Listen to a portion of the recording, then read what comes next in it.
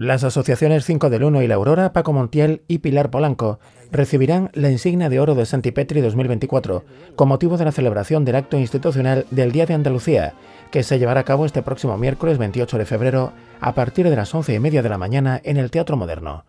El alcalde José María Román ha destacado que un año más el ayuntamiento rinde homenaje a dos entidades y una persona destacadas y conocidas de la localidad que han trabajado de forma activa para el desarrollo de la ciudad en diferentes ámbitos, sobre todo en la ayuda a otras personas.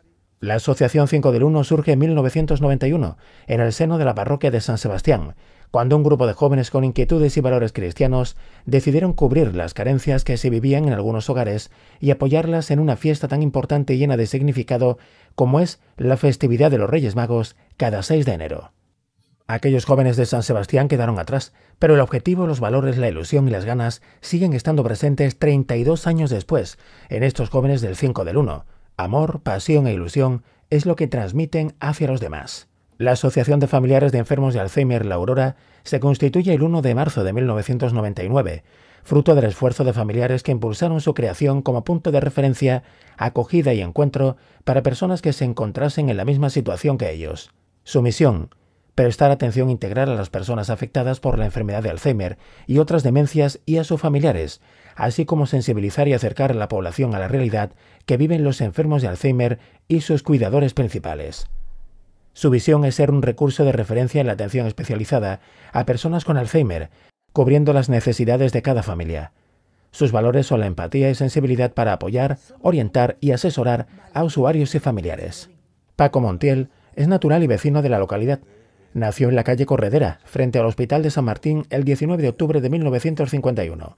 Su niñez estuvo vinculada con las coplas de los carnavales, con seis años ya salía en una murga que su tía María escribía para los niños de esa céntrica calle.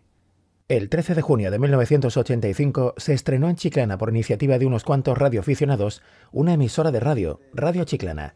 Pepe Coca había iniciado un programa dominical en compañía de Antonio Andrade. Fue a buscar a Paco para que le escribiese un guion con diálogos estructurados en varias secuencias con diferentes personajes. Este espacio lo tituló Historias de Montipá.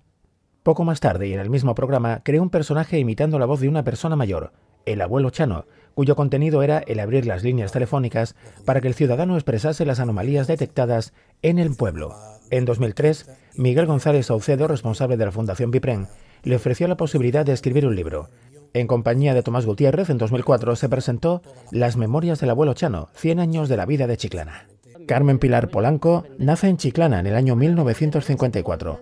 Inició su enseñanza primaria en el Colegio de las Hermanitas Santa Ángela de la Cruz. A los 15 años empezó su vida laboral como aprendiz en la fábrica de muñecas Marín y con el paso del tiempo y su buen hacer, pasó a la sección de pinturas. Su trabajo era el de pintar las caras de las muñecas, los ojos o la boca.